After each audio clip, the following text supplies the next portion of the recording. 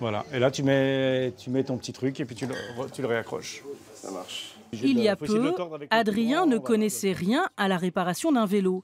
Mais depuis qu'il a acheté un vieux biclou dans une braderie, il fréquente cet atelier. L'outil ne va rien faire à ta place.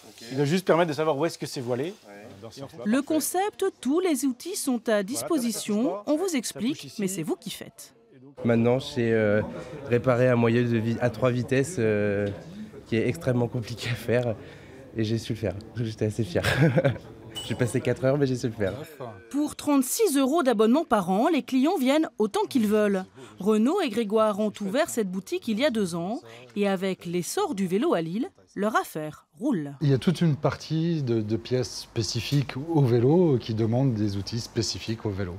Donc c'est des outils qui coûtent assez cher à l'achat. Et quand on est amateur ou qu'on veut bricoler tout seul, est-ce que ça vaut le coup d'acheter un outil à 40-50 euros pour l'utiliser qu'une seule fois? La tige de sel est bloquée dans le cadre, et comme c'est une petite occasion et que j'aimerais bien le remettre en état, euh, on est obligé d'utiliser des moyens un peu, euh, un peu radicaux pour ça. Livreur pressé, passionné de vieilles bécanes, étudiant au budget serré, cycliste du quotidien, se partage les lieux et les conseils.